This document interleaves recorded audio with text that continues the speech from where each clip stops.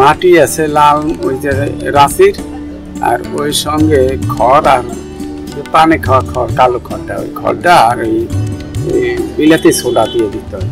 এই দিয়ে সোডাটা দিলে যে মাটির মধ্যে যে বালি ভাবটা থাকে, ওইগুলো কেটে যায়, পরিষ্কার হয়ে যায়, রংটা ক্লিয়ার হয়ে যায়।